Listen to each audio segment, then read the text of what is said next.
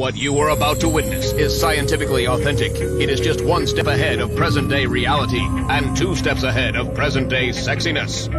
Prepare yourself to attempt to conceive an inconceivable outer space adventure. Brace yourself for something so fantastically fantastical, you'll soil yourself from intergalactic excitement. Get ready to